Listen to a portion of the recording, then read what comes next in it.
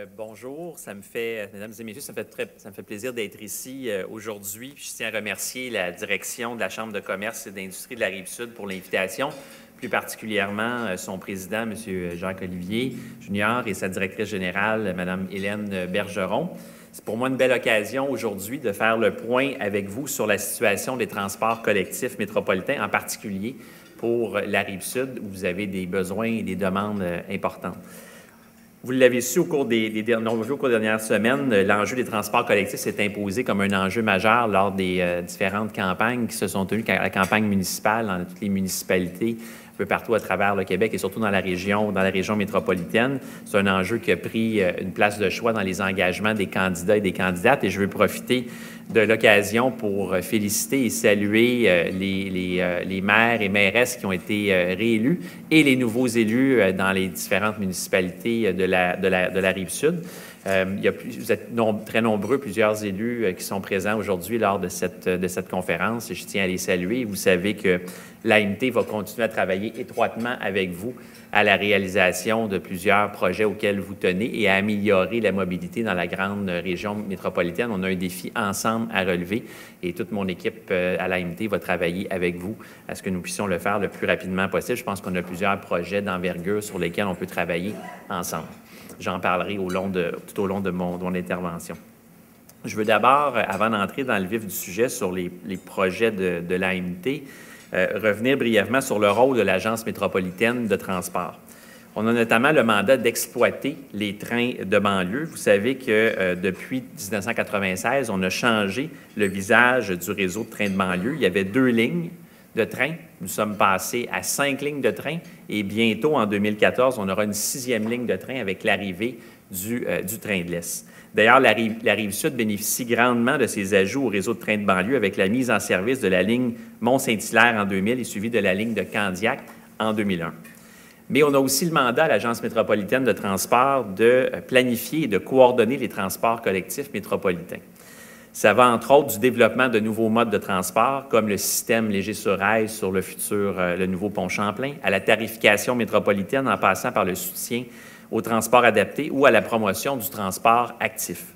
Pour réaliser ce large mandat, nous avons la confiance du gouvernement qui reconnaît notre rôle crucial de coordination et de supervision du transport collectif à l'échelle métropolitaine le gouvernement nous reconnaît entre autres ce rôle-là de planificateur des voies réservées métropolitaines. Le 29 septembre dernier, le ministre des Transports, M. Sylvain Gaudreau, a annoncé un programme d'investissement de 84 millions de dollars pour l'ajout sur une période de deux ans de 208 kilomètres de voies réservées, dont une bonne partie va être réalisée par l'AMT en collaboration avec ses partenaires. Je pense que c'était très attendu de la part de plusieurs élus municipaux, euh, cette annonce. Avec ces voies réservées locales et métropolitaines, viendront s'ajouter aux 209 kilomètres mis en service de voies réservées au cours des 30 dernières années. En l'espace de deux ans, le gouvernement prévoit donc doubler le réseau. Je pense que c'est extraordinaire et ça va répondre aux besoins de nombreux citoyens qui veulent se déplacer de façon rapide dans la grande région métropolitaine.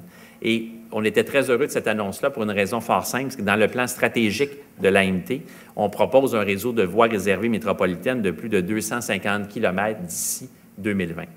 Les voies réservées, vous le savez, c'est une formule gagnante qui a apporté des résultats intéressants dans plusieurs métropoles dans le monde.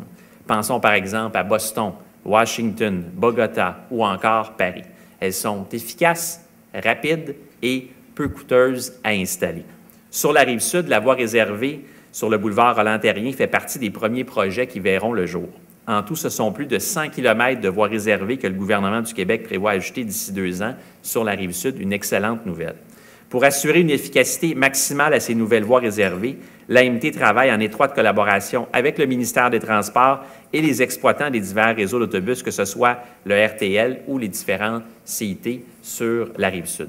Notre objectif, il est clair, assurer une cohérence dans le développement des voies réservées pouvant être utilisées par plus d'un opérateur, mais également faciliter le rabattement et la complémentarité au mode lourd. Au fil des années, les changements dans les habitudes de déplacement se sont profondément enracinés. Je vous donne quelques chiffres. De 1996 à 2012, l'achalandage des transports collectifs, métro, train, autobus confondus, s'est accru de 28,5 C'est vous dire à quel point les gens ont changé leur habitude de déplacement, on a progressé, on a avancé. Ce résultat-là n'aurait pas été possible sans le travail de tous les partenaires, que ce soit le ministère des Transports, l'ANT, le RTL, la STM, la STL, l'ACTIM et les CIT sur la rive sud et sur la rive nord. Et vous me permettrez aussi de souligner le résultat significatif des trains de banlieue.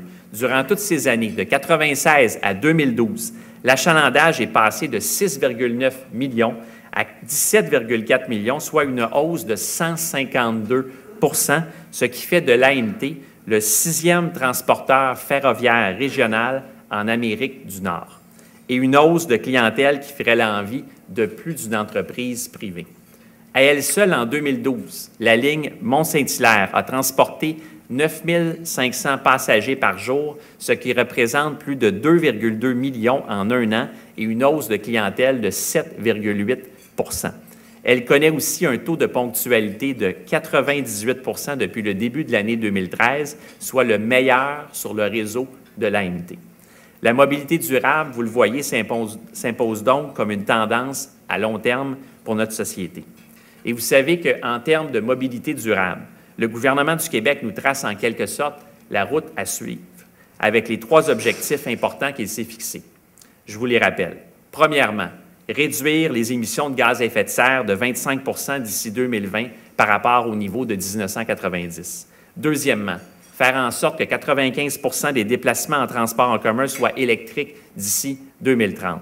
Troisièmement, réduire la congestion routière dans la région métropolitaine. Ça tombe bien, c'est la mission de l'ANT. Et nous y travaillons avec constance et énergie, année après année, avec nos partenaires. Notre travail de planification s'incarne dans un document qu'on appelle notre programme triennal d'immobilisation, appelé communément PTI. L'édition 2014, 2015, 2016 a été transmise pour consultation des différents partenaires en septembre, puis a été approuvée par notre conseil d'administration le 8 décembre, le 8 novembre dernier, excusez-moi. Parmi les projets qui ont été inscrits dans ce PTI, nous avons bien sûr une série de projets qui concernent directement le territoire de la Chambre de commerce et d'industrie de la Rive-Sud. Nous participons, par exemple, au projet de réaménagement du secteur de la place Charlemagne, qui a fait l'objet d'une entente entre le ministère des Transports, l'AMT, la Ville de Longueuil et le RTL pour la réalisation d'une étude d'avant-projet définitif pour un montant de 2,4 millions. Ce projet implique une modification importante de la logistique d'accès au terminus Longueuil. Une série de mesures sont prévues pour faciliter les déplacements en transport collectif dans ce secteur en plein développement. Pensons aussi au terminus Sainte-Julie, projet cher à la mairesse de Sainte-Julie, nous planifions de déplacer le terminus existant et d'y amener un terminus d'autobus régional, en plus de prévoir un nouveau stationnement incitatif. Comme pour toutes nos lignes, nous travaillons aussi à acquérir et réhabiliter notre matériel roulant. On étudie la possibilité d'ajouter des terminus, des stationnements incitatifs, des abris sur les quais, des abris pour les vélos, et nous poursuivons l'amélioration de l'information à la clientèle grâce à, nos, systèmes de transport intelligents. Ces dernières années, la ligne Mont-Saint-Hilaire a fait l'objet d'un grand programme de revitalisation. Les gares Mont-Saint-Hilaire, McMasterville, Saint-Basile-le-Grand, Saint-Bruno et Saint-Lambert ont bénéficié d'une série d'améliorations pour les rendre permanentes. Il y a aussi la nouvelle gare Longueuil-Saint-Hubert opérationnel depuis cet automne. Il nous reste à finaliser certains travaux, ce qui sera fait au début de l'année 2014. Avec la gare Longueuil-Saint-Hubert, la ligne Mont-Saint-Hilaire est désormais entièrement pourvue d'installations permanentes. C'est une excellente nouvelle pour les citoyens de la Rive-Sud. Pour notre part, nous en sommes très fiers à l'AMT. Et j'encourage les citoyens de la Rive-Sud qui sont tannés d'être pris en otage et tannés d'être pris dans les bouchons de circulation, d'opter pour le train de banlieue via la ligne Mont-Saint-Hilaire avec un taux de ponctualité de 98% Tous les projets d'avenir, nous ne voulons pas les décider en vase clos. Suivant notre nouvelle démarche de concertation adoptée dans notre plan stratégique, nous avons mis en place aussi des comités d'axe. Dans votre région, nous avons aussi mis sur pied un comité d'axe Tachereau, route 132, qui rassemble entre autres l'AMT, l'agglomération de Longueuil, comprend diverses municipalités et les différents transporteurs de la rive sud. Les travaux ont été lancés au début de l'année 2013 avec la première rencontre du comité directeur formé d'élus des villes partenaires du comité d'Axe. Début 2014, la phase d'identification des besoins et des opportunités sera achevée. La charte d'amélioration de la mobilité sur l'axe Tachereau-Route 132 sera alors adoptée par le comité directeur. Elle inclura le diagnostic de mobilité, le portrait de l'aménagement, la vision 2020 intégrée de la mobilité et de redéveloppement urbain dans l'axe et les objectifs qui y sont associés. Nous sommes vraiment satisfaits de voir progresser cette démarche qui se veut consensuelle sur la rive sud. Vous savez, depuis plusieurs années déjà, la congestion routière récurrente dans la région métropolitaine vient nous rappeler au quotidien l'importance d'assurer une fluidité des déplacements pour la qualité de vie générale, mais aussi pour la santé économique de la région. Cette congestion se nourrit de la multiplication des entraves à la circulation dues aux importants travaux sur les axes de déplacement majeurs. Nous avons vu que le gouvernement du Québec mise sur les voies réservées pour résoudre une partie du problème. J'en ai parlé un peu plus tôt. Mais pour amoindrir les effets de la congestion routière et pour accroître l'utilisation du transport collectif, le MTQ a aussi annoncé diverses autres mesures d'atténuation. Au total, pour les années 2013-2014, plus de 26 millions de dollars ont été consentis par le ministère pour la mise en place de mesures d'atténuation à la congestion routière. L'AMT est responsable de l'aménagement de plusieurs d'entre elles, notamment sur la rive sud. Nous avons, par exemple, ajouté récemment 135 places au stationnement Sainte-Julie et ajouté 50 places au stationnement Chambly.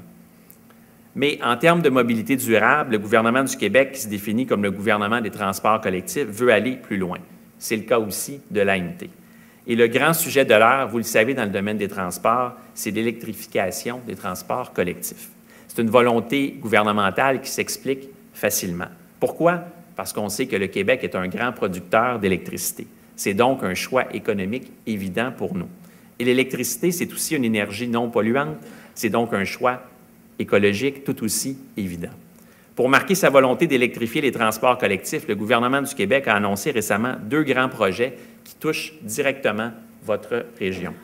Tout d'abord, le prolongement du métro et s'ajoute un autre grand projet d'électrification, celui du système léger sur rail sur le futur pont Champlain. Il permettra d'assurer 100 000 déplacements quotidiens en transport collectif en mode électrique. Un projet majeur pour le Québec, le premier en son genre. Et le gouvernement a confié à l'AMT le mandat de réaliser ces deux grands projets. Nous le remercions de cette confiance.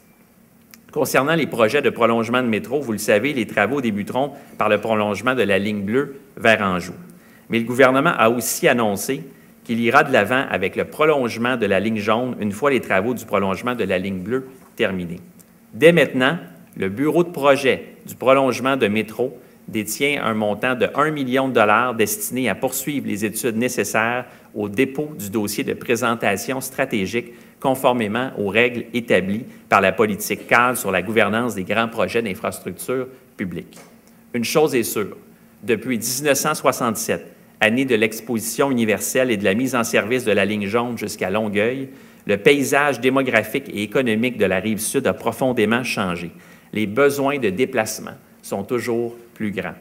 Selon les études préliminaires, on peut s'attendre, avec l'arrivée de la ligne jaune, d'un prolongement de la ligne jaune, d'un achalandage journalier de 61 000 déplacements. Ce projet, avec celui de la ligne jaune, devrait aussi entraîner la création de près de 3 500 emplois et plus de 15 000 logements pourraient y être construits. Le résultat, une densification démographique que nous souhaitons tous pour limiter l'étalement urbain et une meilleure fluidité des transports qui pourrait faire économiser en gain de temps près de 12 millions de dollars par an à la région. Il reste bien sûr que ce genre de projet d'envergure, vous savez, c'est coûteux.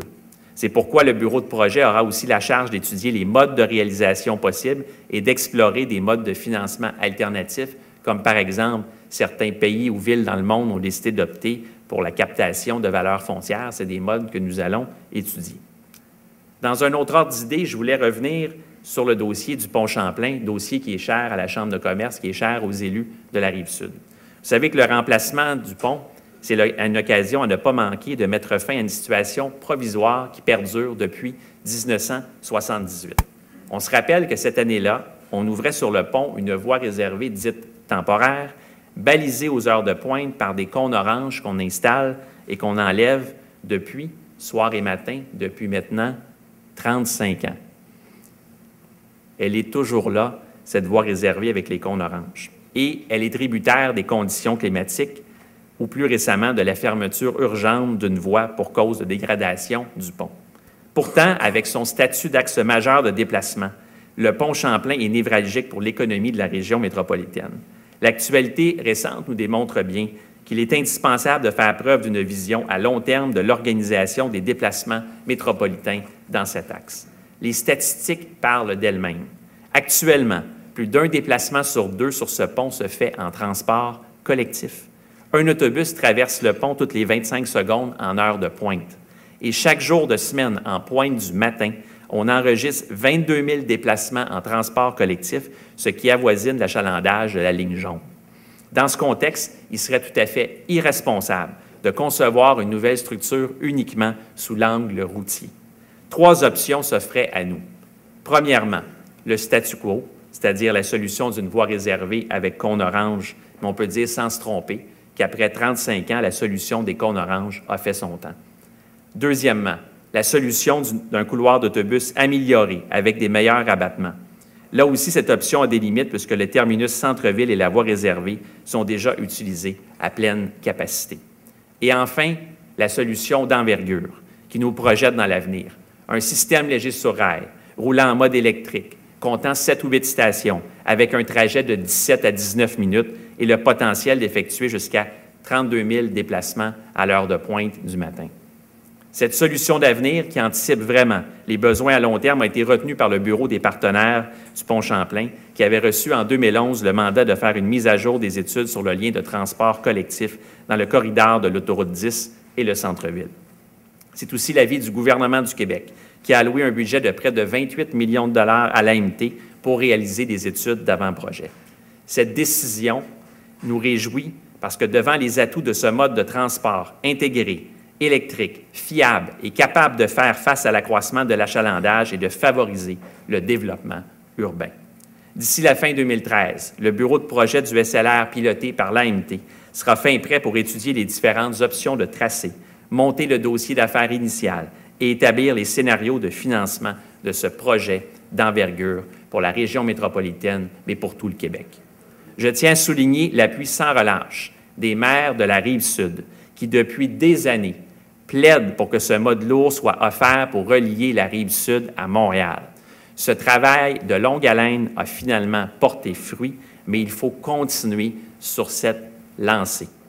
Car il reste bien sûr aussi le dossier du financement du projet du SLR à faire avancer, en particulier devant les décideurs au gouvernement fédéral. Mais permettez-moi de revenir sur un point fondamental sur lequel la communauté métropolitaine est unanime le gouvernement fédéral ne peut pas décider unilatéralement d'instaurer un péage unique sur le nouveau pont. Il risque de déstabiliser complètement le réseau métropolitain en repoussant vers d'autres ponts ou tunnels, notamment le pont Jacques-Cartier, les automobilistes qui ne voudront ou ne pourront pas assumer le coût élevé du nouveau péage que la plupart des spécialistes évaluent à 7 par passage. Une étude préliminaire réalisée par la par une firme estime environ 30 000 le nombre de voitures qui migreraient vers les autres ponts. Les maires des 82 000 de la grande région de Montréal se sont d'ailleurs prononcés en ce sens début octobre. Les membres de la communauté métropolitaine de Montréal ont adopté à l'unanimité une résolution proposée par la mairesse de Longueuil, Caroline Saint-Hilaire, demandant au gouvernement fédéral de renoncer à cette option.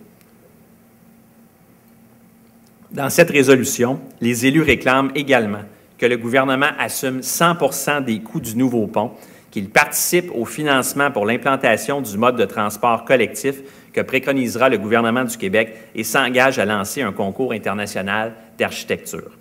Notre hôte aujourd'hui, la Chambre de commerce et d'industrie de la Rive-Sud, a pour sa part lancé une pétition en ligne contre le péage sur le pont Champlain intitulée Un pont oui, mais pas à n'importe quel prix. Et début novembre, un sondage CROP a mis en évidence l'opposition manifeste des citoyens de la région métropolitaine à ce projet de péage unique sur le pont Champlain.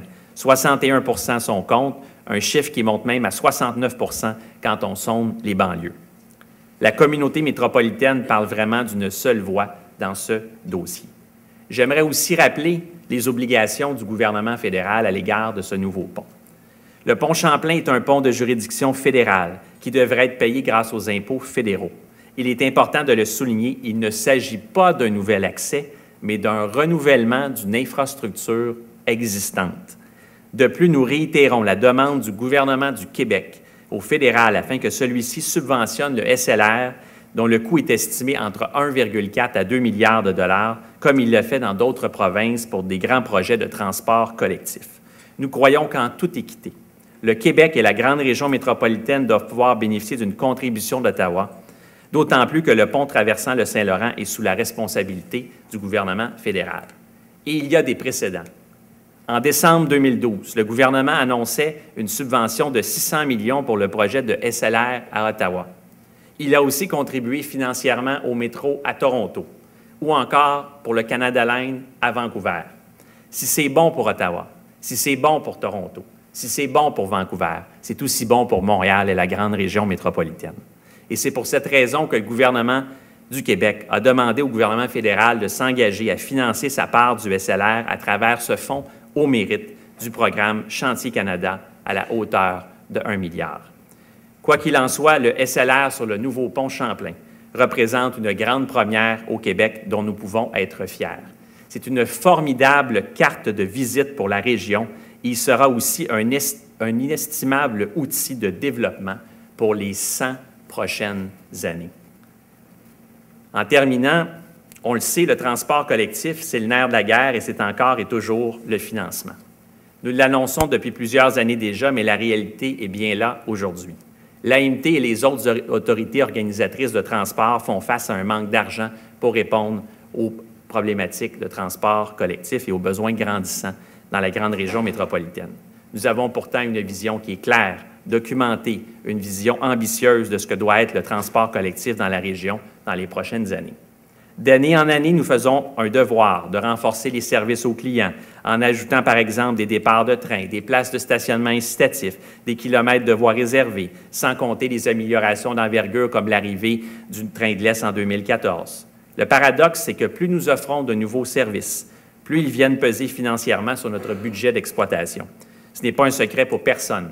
Dans sa structure financière actuelle, le transport collectif ne s'autofinance jamais et la portion à la charge de l'AMT augmente donc à chaque ajout de service, ce qui vient peser sur l'équilibre de ses finances.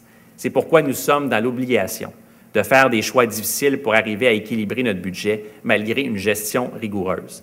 Dans ce contexte de ressources financières limitées, nous avons dû, pour atteindre notre équilibre budgétaire en 2014, appliquer d'importantes compressions d'effectifs de l'ordre de 5 et nous avons procédé à une rationalisation de nos coûts internes de plus de 20 millions de dollars. Ce faisant, nous avons déposé début novembre un budget équilibré totalisant 269 millions de dollars. Avec cet exercice difficile, nous marquons notre engagement à exercer une gestion plus serrée des fonds publics dont dispose l'AMT. Mais il est certain que ce ne sera pas suffisant. Sans une révision en profondeur du cadre financier du transport collectif métropolitain. C'est pour cette raison que nous avons de grandes attentes à l'égard de la future politique de mobilité durable qui sera déposée sous peu. Les fonds d'exploitation et d'immobilisation de l'AMT sont arrivés à saturation. Pendant ce temps, les besoins en maintien et en développement des services vont sans cesse en grandissant avec la croissance démographique que connaît la région métropolitaine. Malgré les écueils financiers, l'avenir des transports collectifs est ouvert. Son importance fait consensus tant de la part du gouvernement du Québec que des instances métropolitaines, municipales ou de la société civile. Votre invitation aujourd'hui en est d'ailleurs la preuve les décideurs connaissent l'importance d'un réseau de transport collectif performant pour la vitalité économique de la région métropolitaine, en particulier de la rive sud. Quant à nous, je le disais un peu plus tôt, nous attendons avec intérêt cette nouvelle politique de mobilité durable qui sera déposée par le gouvernement du Québec, soit d'ici la fin de l'automne ou au début de l'année 2014. Mais toutes nos actions, nous les mènerons dans un seul et unique but, offrir des services de transport collectif accessibles efficace et confortable dans la grande région métropolitaine. Pour notre part, à l'AMT, nous sommes prêts à relever le défi de travailler avec engagement et conviction avec vous pour faire de notre région la référence nord-américaine en matière de transport collectif. Vous l'avez vu, nous avons plusieurs projets de transport collectif sur la rive sud, qui est un secteur stratégique pour la, vitalité économique de toute la région. Nous avons l'appui du gouvernement du Québec pour mener à terme ces projets. Il s'agit là d'un travail d'équipe que l'AMT veut mener en étroite collaboration avec tous les élus et partenaires de la rive sud. Plus qu'une alternative à l'auto solo, le transport collectif est la meilleure option quand vient le temps de se déplacer pour contrer la congestion routière grandissante dans la grande région métropolitaine. Mais c'est surtout un choix de société. Ensemble, nous y travaillerons. Ensemble, nous y arriverons. Je vous remercie.